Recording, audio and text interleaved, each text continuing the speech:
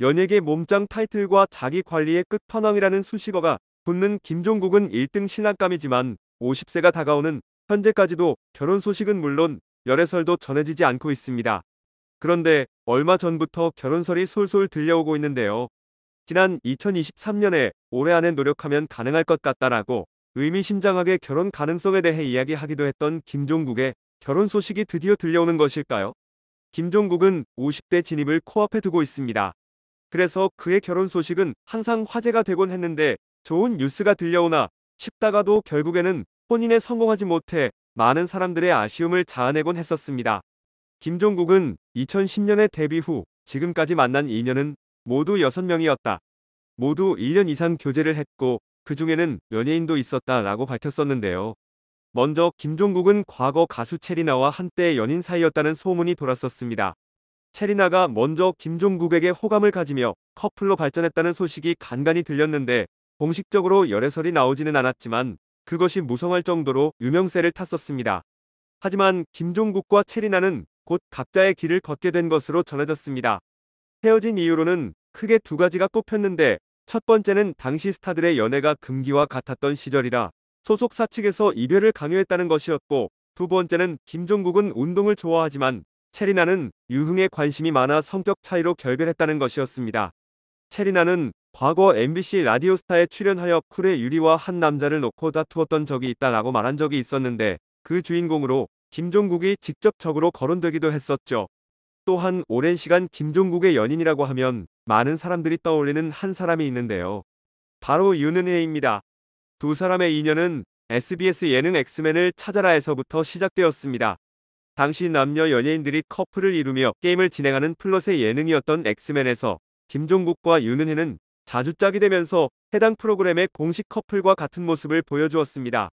그리고 결정적으로 엑스맨의 한 회차에서 배우 이민기와 김종국이 윤은혜를 놓고 대결하는 구도가 흘러갔는데 여기서 김종국이 윤은혜의 귀를 막으며 이민기의 난해한 질문에 당연하지라고 대답하며 엑스맨 사상 가장 유명한 명장면이 탄생했습니다.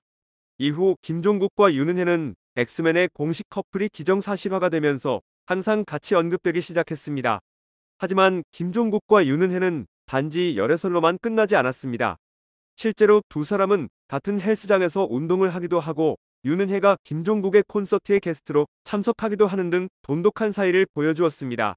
게다가 김종국은 SBS 힐링캠프에서 윤은혜를 자신의 이상형으로 거론하며 바쁘지 않으면 밥 한 끼라도라며 언급하기도 했었죠. 그러다 꽤 최근 다시 한번 두 사람이 연인 사이였다는 의혹이 제기되는데요. 윤은혜는 자신이 운영하는 유튜브에서 전 남자친구와의 추억을 회상하며 작은 공책에 남자친구가 보냈던 문자를 다 적어 선물했다라고 말했습니다.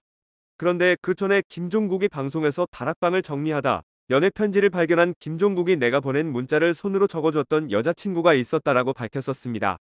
이로 인해 우연치고는 문자 메시지 손편지가 흔한 선물은 아니었기에 누리꾼들은 두 사람의 교제설에 힘을 실었습니다. 또한 국민적인 사랑을 받고 있는 송가인이 직접 김종국이 자신의 이상형이라고 밝히기도 했었는데요. 미운 우리 새끼에 출연한 송가인을 두고 당시 김종국은 진실게임을 하면서 김희철에게 송가인이 사귀자고 한다면 사귀냐라고 물었습니다. 김희철은 반색을 하며 완전 사귀지. 난 제2의 도경환 주니어가 될 거다라고 환호했고 실제 진실로 나와 환호했습니다. 그러나 송가인은 근데 오빠가 내 스타일은 아니다라고 김희철에게 철벽을 쳤고 김종국에 대해 멋있잖나. 예전에 미우새에 출연했을 때 어머니가 저를 너무 예뻐해 주시고 제 콘서트로 보러 와주셨다. 그래서 혼자 상상도 해봤다. 어머니가 나를 며느리로 생각하시나. 생각했다며 활짝 웃었습니다. 이어 김종국의 어머니를 향해 오빠 너무 멋있고 진짜 훌륭한 아드님이셔서 사람 일은 어떻게 될지 모르니까 항상 지켜보겠다고 영상 편지를 보냈습니다. 영상 편지를 본 김종국의 어머니는 송가인을 며느리감으로 생각한 적이 있냐는 질문에 어떻게 감히 그렇게 생각할 수 있겠냐? 상상도 안 해봤다. 온 국민이 좋아하는 송가인 시인대라고 답했는데요. 이에 MC 서장훈은 둘이 만약에 결혼해서 같이 벌면 거의 중소기업급으로 매출이 나올 것 같다고 말하기도 했습니다. 진짜로 두 사람이 연인으로 발전하게 된다면 엄청난 화제로 떠오를 것 같은데요. 그런가 하면 김종국이 오랜 시간 결혼 소식이 없자 LA에 숨겨둔 자식이 있다라는 이야기까지 퍼지게 됩니다. 이는 김종국의 절친인 차태현으로부터 시작된 루머였는데요. 차태현은 합리적 의심이라는 게 있어요. 종국이가 LA에 많이 가요. 어느 순간 그런 의심이 들었어요. 저기 여자친구가 있나 보다라고 생각했어요. 어머니랑도 자주 가더라고요. 그래서 아내가 있나 보다 했죠. 라고 말해 웃음을 자아냈습니다. 이어 차태현은 점점 미국에 있는 기간이 길어지다 보니 그러면 아, 아이를 좀 보고 오나 보다 했어요 라고 생각의 흐름을 말했습니다. 이에 김종국은 웃자고 한 이야기인데 진짜로 믿는 사람들이 있어요 라며 억울함을 감추지 못했습니다. 그가 결혼을 못하는 또 다른 이유로 꼽히는 것은 바로 운동입니다. 심지어 본인이 직접 운동 중독 때문에 결혼을 못하는 것이라고 이야기했었는데요. 김종민은 김종국이 결혼하지 못하는 이유에 대해 다 알지 않냐. 사람을 사랑해야 하는데 여자친구보다 운동을 더 사랑한다. 사랑해서 결혼해야 하는데 더 사랑하는 게 있는 것이라고 설명했습니다.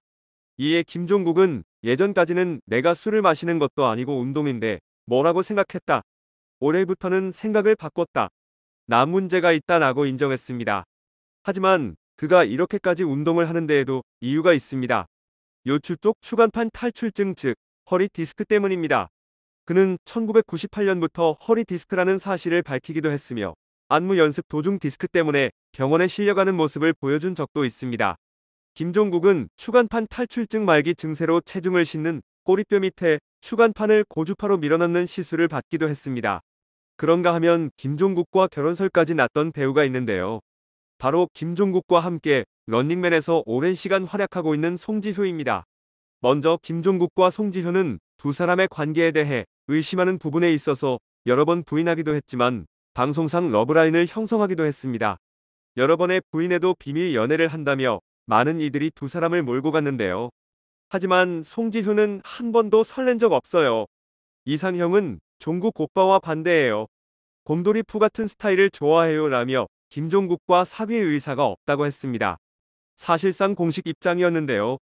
또한 김종국이 옥탑방의 문제 아들의 새 MC로 합류했을 때에도 송지효가 게스트로 출연하여 열애설에 대해 해명하기도 했었습니다. 송지효는 김종국에 대해 정말 가족이에요. 까칠하지만 따뜻해요. 속 깊게 챙겨주는데 살갑게 챙겨주는 것이 아니라 쓴소리를 해주면서 챙겨줘요 라고 털어놨습니다. 이어 송지효는 김종국에게 이성적 호감은 없었냐는 물음에 오빠 나한테 설렌 적 있어요? 라고 김종국에게 되물었는데요. 이에 김종국은 설렌 적은 없어요. 가족 같다고 했잖아요. 저도 정말 가족 같은 마음이에요. 지효는 제가 성질이 난다고 하면 다 내고 나중에 미안하다고 할 수 있는 정도의 사람이에요 라고 말했습니다. 이렇게 여러가지 결혼 못하는 이유를 뒤로 하고 갑자기 김종국의 결혼설이 떠올랐는데요. 김종국이 출연하는 런닝맨에서는 멤버들이 서로의 사복에 대해 이야기하고 있었습니다. 김종국은 신발이 좀 더러워졌다라며 평균 수명 20년에 달하는 자신의 운동화를 보여줬는데요.